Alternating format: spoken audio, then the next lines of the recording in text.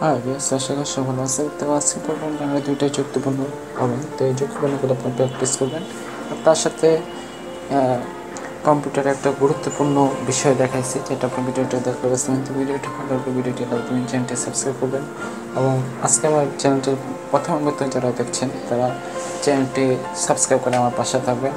আর ভিডিওটি অবশ্যই আপনার ফ্রেন্ডসের মধ্যে শেয়ার করে দেবেন যাতে তারাও বাংলা যুদ্ধগুলো কীভাবে লিখতে সেটা বুঝতে পারে। তো সবাইকে ধন্যবাদ আল্লাহ হাফেজ। আসসালামু আলাইকুম।